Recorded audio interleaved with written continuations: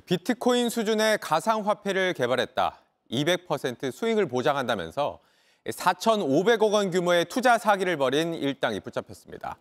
이들은 투자자들을 속이려고 유람선까지 동원해 호화 파티를 열었습니다. 김휘란 기자입니다. 지난해 4월 경인 아라뱃길입니다. 성대한 유람선 파티가 열렸습니다.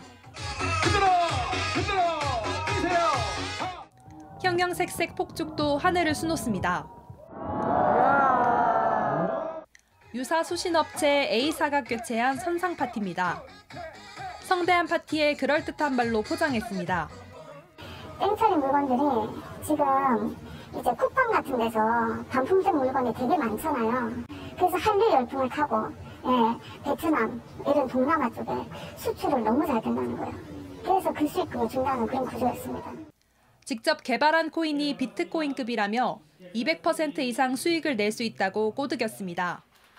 자체 결제 앱까지 만들어 손쉽게 돈을 입금하도록 유도했습니다. 이렇게 지난해 2월부터 5개월 동안 무려 3만 6천여 명에게 4,467억 원을 가로챘습니다. 이 돈으로 고급 아파트를 구하고 명품을 샀습니다.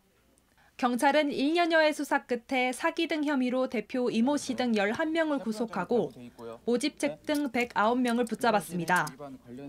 대표 이 씨는 조폭까지 동원해 도피 행각을 벌였습니다. 원금은 당연히 보장되고 고수익까지 보장된다는 말에 현혹돼서 투자하는 경우 투자 사기 등 범죄일 가능성이 높으니 경찰은 지금까지 현금 28억 원을 찾아내 압수하고 147억 원 상당의 부동산을 추징 보전했습니다.